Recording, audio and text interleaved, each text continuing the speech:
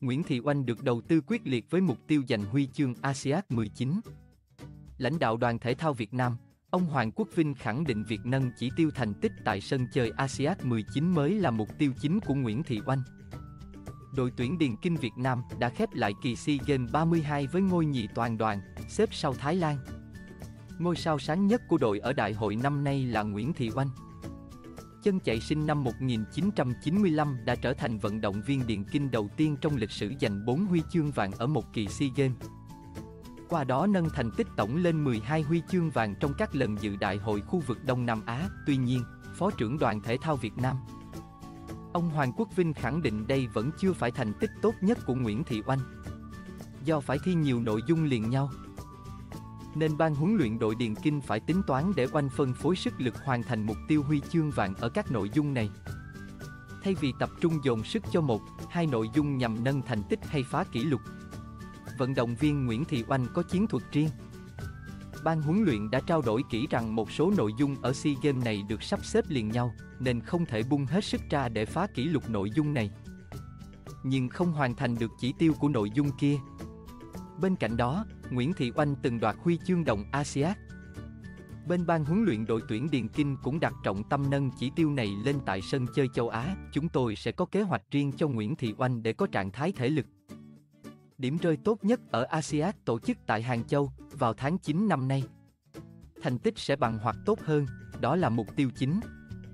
Còn tại SEA Games 32, Nguyễn Thị Oanh đã thi đấu rất xuất sắc rồi, ông Vinh chia sẻ. Ông Hoàng Quốc Vinh cũng khẳng định vận động viên Nguyễn Thị Oanh hiện nhận được sự quan tâm của các nhà tài trợ. Đây sẽ là động lực để chân chạy sinh năm 1995 tiếp tục nâng cao thành tích trong thời gian tới. Tôi cảm ơn truyền thông đã lan tỏa hình ảnh.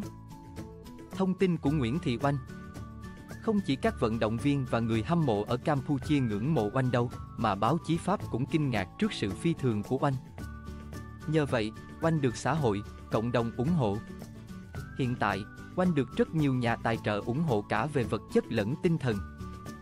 Ông Vinh khẳng định, Liên đoàn Điền Kinh Việt Nam dự kiến vào ngày 17 tháng 5 sẽ tiến hành lễ vinh danh và trao thưởng cho Nguyễn Thị Oanh và đội tuyển Điền Kinh Việt Nam vì những thành tích xuất sắc tại SEA Games 32.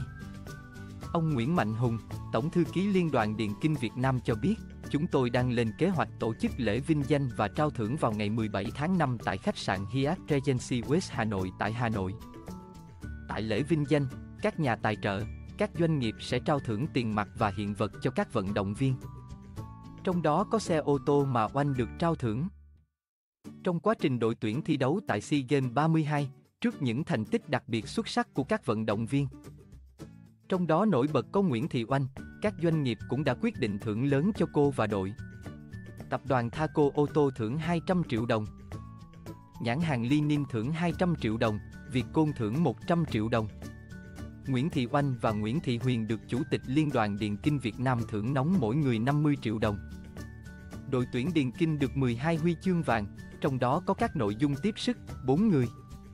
Số tiền mỗi huy chương vàng được nhận là 45 triệu đồng. Tổ tiếp sức nhận huy chương vàng 4 vận động viên được nhận mỗi người 45 triệu đồng.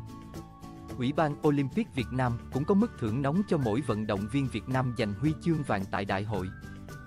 Riêng Nguyễn Thị Oanh, hiện tại cô còn được thưởng một căn hộ trị giá 700 triệu đồng do một liên danh chủ đầu tư dự án nhà ở xã hội Evergreen Bắc Giang Oanh trao tặng. Căn hộ này nằm ở gần gia đình của Oanh tại thị trấn Nến, Việt Yên, Bắc Giang. Ủy ban Nhân dân tỉnh Bắc Giang cũng thưởng nóng thêm 70 triệu. Thaco ô tô trao tặng chiếc xe Peugeot 2008 cho Nguyễn Thị Oanh. Xe thuộc phiên bản GT Liner trị giá trên 900 triệu đồng, đã bao gồm các khoản thuế, phí,